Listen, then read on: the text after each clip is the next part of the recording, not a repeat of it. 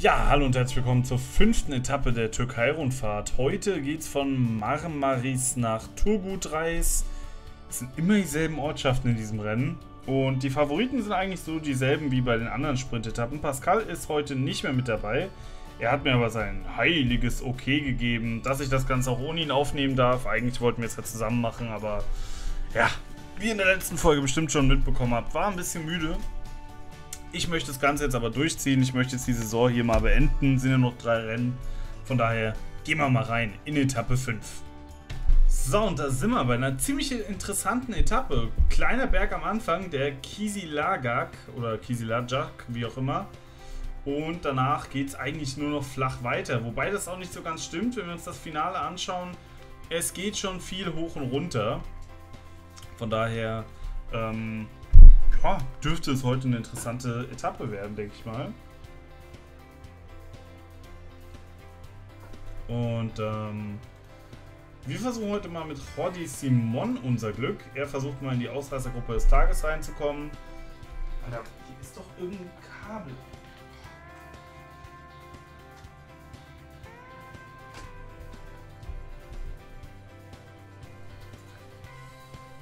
So, Entschuldigung, hier war gerade irgendein Kabel unterm Tisch, das mich tierisch aufgeregt hat. Wir haben eine Spitzengruppe, bestehend aus dem ja, guten, altbekannten Nelson Oliveira. Dann haben wir Timmer, Perichon, Fournier und Juliensen vorne. Dahinter Gunnar, Simon und einige andere. Also das Feld scheint diese Gruppe hier nicht so richtig wegkommen lassen zu wollen. Zumindest nicht diese zweite Gruppe, sagen wir es mal so. Ähm, ja, schauen wir mal.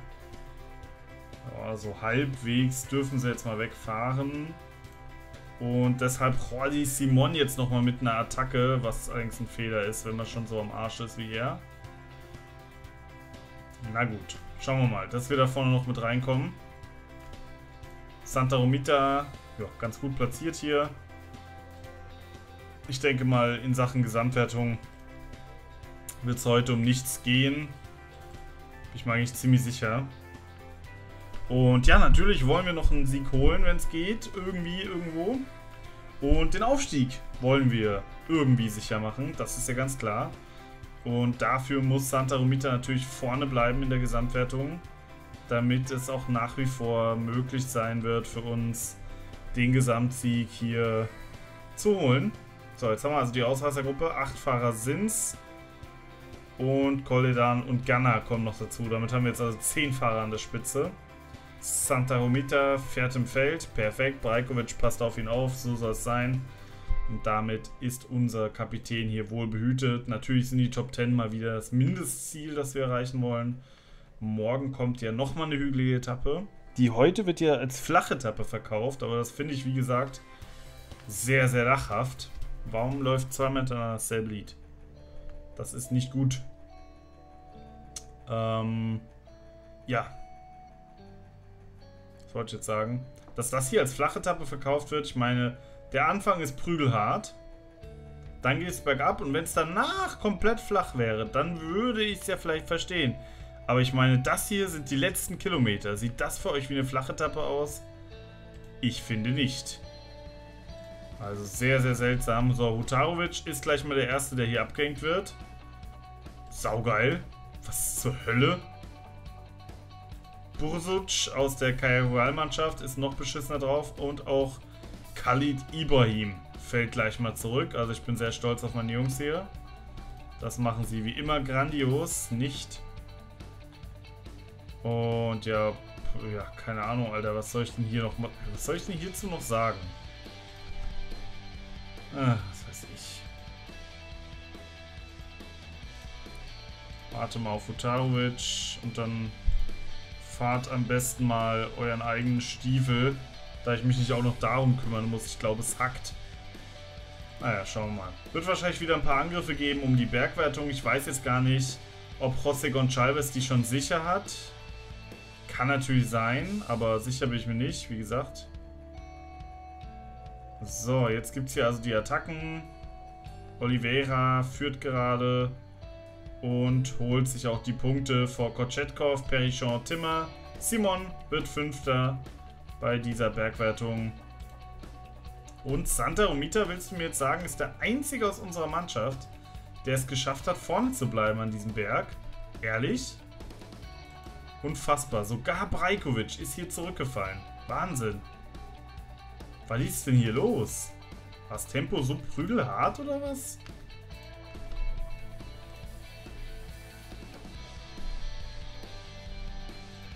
Schauen wir erstmal, wer hier mit dabei ist. Nicht, dass die jetzt hier irgendeinen Gegner von uns heranführen, aber sieht nicht so aus, ne. Hier fallen nur schwächere Bergfahrer zurück. Santa Romita ist einfach ganz alleine hier jetzt, gerade im Feld. Ich hoffe mal, dass die beiden jetzt gleich wieder reinfahren, damit sie wenigstens Santa Romita so ein bisschen unterstützen können.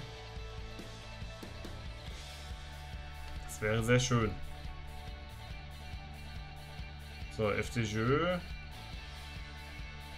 Danny McLay ist zurückgefallen. Ach, ich freue mich schon so auf den, ne? Oh, das wird schön. Endlich mal ein guter Fahrer im Team. Das wird nice. So, Simon fährt hier so ein bisschen verloren durch die Gegend. Ganz alleine, ohne Freund und Feind. So, Santa, hol dir mal selbst Flaschen. Du merkst ja, du bist hier völlig auf dich allein gestellt. Äh, das ist ein hartes Survival-Game hier.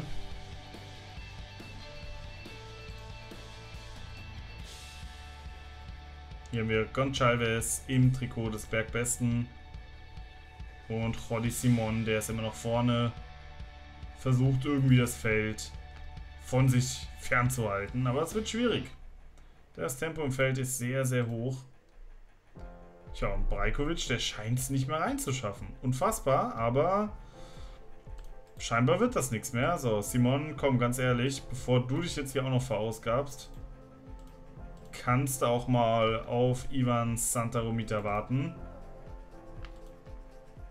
Damit hat Santa jetzt immerhin einen Helfer zur Verfügung. Ich bin gespannt, ob Brajkovic es noch schafft, hier ins Feld zurückzukehren. Oder ob es das war mit ihm mit dem Slowenen. Tempo ist halt schon relativ hoch für so eine Etappe. Aber eigentlich sollte das doch machbar sein, oder? Wobei er jetzt halt auch schon eineinhalb Minuten Rückstand hat.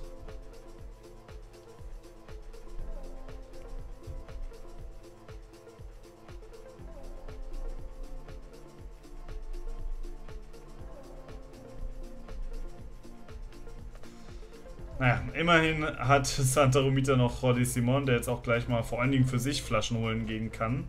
Halt, das war falsch rum. So rum muss das sein.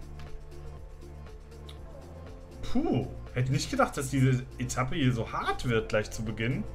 Und Brajkovic ist wieder drin, super. Ist jetzt natürlich ein Moment zu spät, sodass ich ihn nicht mehr konnte Flaschen holen gehen. Dempster scheint jetzt auch so langsam wieder reinzurollen. Gucken wir mal, was mit Schuster und Co. ist. Also hier haben wir Till Schuster, der jetzt mit Lammertink unterwegs ist. Nicht der schlechteste Partner. Khalid Ibrahim, der fährt aus irgendwelchen Gründen ganz alleine. Auch nicht schlecht. Sollen wir lieber auf Futarovic warten. Und Buchsuc, das ist immer noch der letzte. Muss man hier die Strategie ändern, ne? Tarovic, ach so. Ah, ich verstehe. Äh, alle fahren für Santa, würde ich mal sagen. So, denn das ist ja auch wirklich die Taktik. Dempster scheint es wirklich das Feld zurückzuschaffen. Zumindest ist es knapp aktuell. So, ihr könnt mal alle Getränke holen. Ach, was mache ich denn? Strategie und hier Getränke erstmal holen jetzt. So, alles klar. Also Tarovic und Co. und äh, hier Khalid Ibrahim und auch Schuster werden es wohl nicht mehr zurück ins Feld schaffen.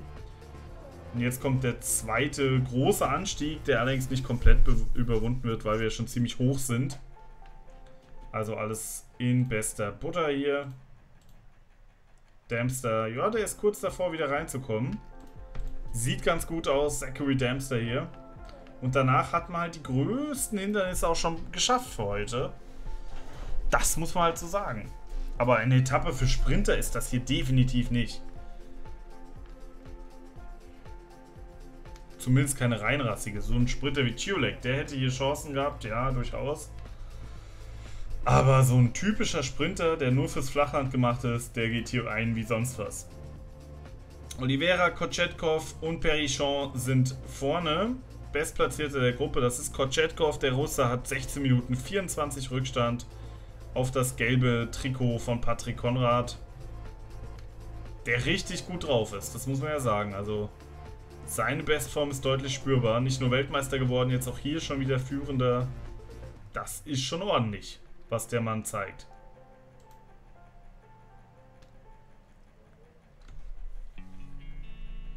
So, wir konzentrieren uns natürlich komplett aufs Finale dieser Etappe. Denn es ist durchaus möglich, dass wir heute einen Sieg zu verbuchen haben.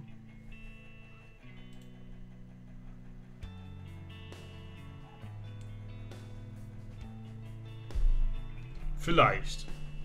Sollten wir noch mit dranhängen, weil Santa ist zwar gut am Hügel, aber es gibt hier halt auch noch ein paar andere Teams, die ganz gut sind. Und ein paar andere Fahrer, die auch ein Wörtchen da mitzureden haben. So, wir sind jetzt also auf den letzten 41, naja, 42 Kilometern. Das ist das Restprogramm. Also ich finde es schon heftig für eine angeblich flache Etappe. Ist schon nicht schlecht. Muss man einfach so sagen.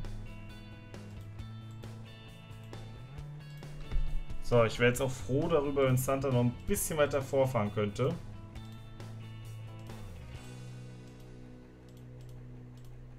So, das passt mir schon besser. Super. Dempster ist wieder im Feld. Sehr cool. Kann, ja... Brajkovic mal auf ihn aufpassen. Komm, warum nicht? Brajkovic ist hier eh kein Kapitän.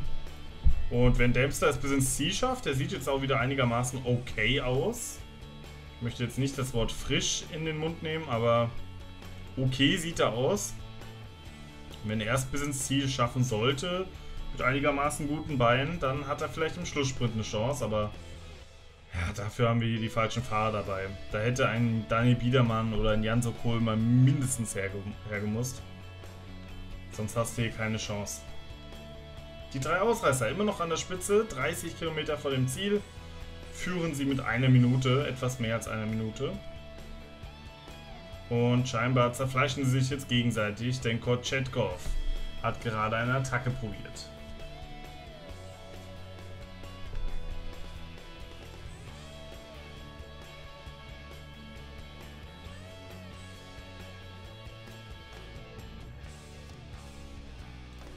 Ja, Dempster zeigt sich ganz ordentlich bislang. Lang ist es nicht mehr, noch 23 Kilometer. Geht da vielleicht doch was für den Australier? Hatte eine ganz gute Tagesform heute. Plus 1 immerhin. Mal schauen. Aber wir legen das Augenmerk natürlich weiterhin auf Santa Romita. Denn, ja, der hat es einfach schon oft genug gezeigt diese Saison, dass er es drauf hat. Oliveira greift an, Perichon sofort am Hinterrad. Kochetkov muss leider eine Lücke aufreißen lassen. Und ob er die nochmal geschlossen kriegt, sei mal dahingestellt. Dahinter das Hauptfeld. Angeführt von Thomas de Gent. Kochetkov auch ein sehr ausgeglichener Rennfahrer. Hat eigentlich überall gute Werte. Oder zumindest fast gute Werte. Und jetzt scheint er aber Platz zu sein. Giovanni Visconti macht jetzt das Tempo für Bahrain Merida. Wo ist Simon?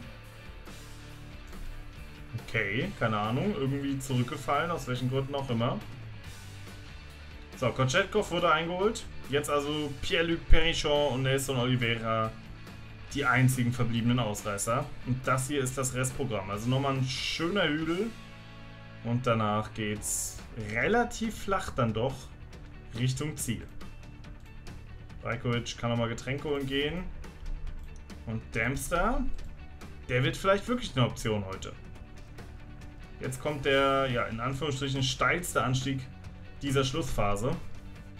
Wirklich hart ist der nicht. Aber er ist auch nicht uninteressant. Ist schon ein schönes steiles Stück hier. Aber eigentlich für die Fahrer kein Problem. Nach dem, was sie heute schon geleistet haben. Sollte das, ja, ist auch kein Problem. Oliveira und Perichon werden eingeholt. Also, es sieht nach einem Massensprint aus. Und damit ist Damster doch ganz gut platziert hier momentan. Und weißt du was? Häng dich mal ans Hinterrad von Daniel McLay. Soll ja kein schlechtes Hinterrad sein. Der Mann. So, ein Mini-Hügel kommt noch. Aber nichts mehr wirklich Bedrohliches. Ja, mal schauen. Vielleicht wird der Dämster heute wirklich der große Kugeling. Das wäre natürlich zu krass. 4,5 Kilometer haben wir noch. 4,5 Kilometer.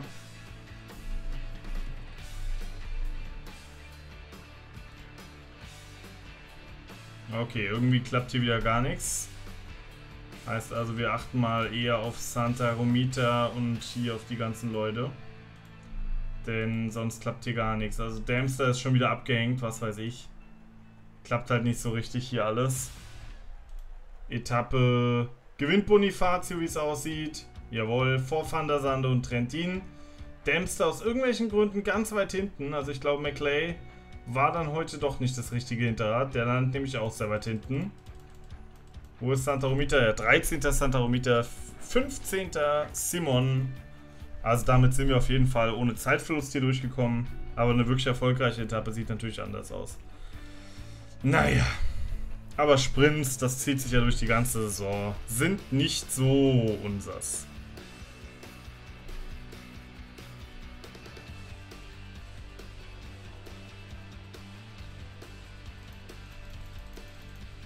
So, Bosuc, auf den warten wir jetzt noch. Der ist hier ganz alleine unterwegs, der Rumäne. Und ist jetzt auch im Ziel. Mal schauen, ob er jetzt Zeitlimit geschafft hat. Hier sehen wir nochmal den Sprint. Der besten Nicolo Bonifacio holt sich also den Sieg vor Tosch van der Sande. Relativ knappes Ergebnis. Ja. Gute halbe Radlänge Vorsprung war es dann für Bonifacio. Van der Sande wird Zweiter. Dann Trentin, Sinkeldam, Holst, Enger, Visconti auf der 6, De Buist 7. Bohle 8., 9. Tolojbaev und 10. Jempi Drucker aus Luxemburg. In der Gesamtwertung wird sich wahrscheinlich nicht viel verändern. Wir schauen mal drauf. Konrad führt weiterhin vor Chesing und Lopez, dann Morten, Haig, Soler, Stanislavski, Visconti, Fernandes und Dechent. Ich glaube, da hat sich nichts getan. In der Bergwertung führt weiter Gonçalves vor Konrad und Oliveira jetzt. In der Sprintwertung führt Bonifacio vor Trentin und Tosh van der Sande. Da ist Schuster jetzt rausgefallen aus dem Rennen. Erstmal. Oh, ist er komplett rausgefallen? Kann das sein? Oh oh. Hat er nicht mehr Punkte? Uh, jetzt müssen wir gucken. Und tatsächlich außerhalb der Vorgabezeit. Till Schuster Ibrahim, also Khalid Ibrahim und Eugenio Utarovic, alle aus dem Zeitlimit gefallen. Eieiei, das ist ja jetzt scheiße. George Busuc auch, oder George Busuc. Mist, ja, das ist natürlich die Kacke, wenn du hier so früh abgehängt wirst, wie das eben heute der Fall war. Dann viel Spaß. Tja, damit also Schuster raus. Genauso wie Hutarovic und auch ähm, Khalid Ibrahim. Damit ist die Mannschaft jetzt sehr, sehr klein. Besteht nur noch aus vier Fahrern, wenn ich mich nicht täusche. Naja, aber es ist auch noch eine Etappe, von daher kriegen wir die auch noch irgendwie um. Und wir sehen uns dann einfach in der nächsten Folge. Bis dorthin, danke fürs Zuschauen und